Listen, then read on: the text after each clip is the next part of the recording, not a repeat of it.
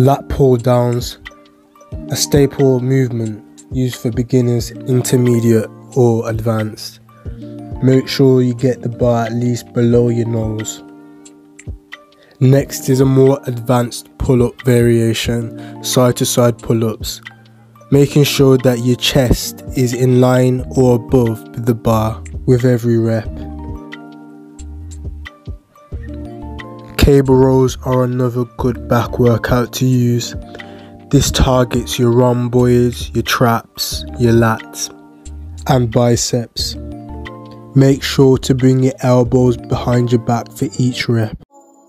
The more easier said than done movement for those who are intermediate and advanced lifters at the gym, muscle ups are a great compound lift to help target your back muscles and also your lower chest. Make sure that your form is good and that you do not use one arm to get over the bar as this will cause injury. Face pulls are a great isolation movement for your traps. This can be done by beginners, intermediate or advanced lifters. Using the grip handles, make sure to bring them behind your ears for each rep and to slowly bring back the cables so you can feel the tension. Next we have single arm rows.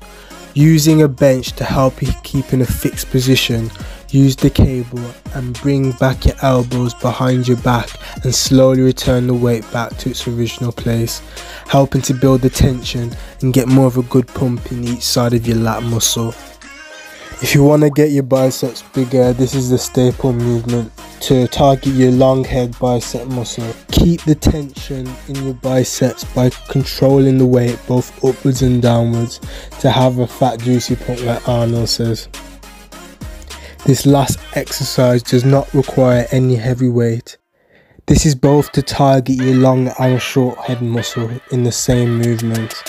You do this by rotating your wrist on each rep. I hope this was helpful. Make sure to like, comment and subscribe for more content.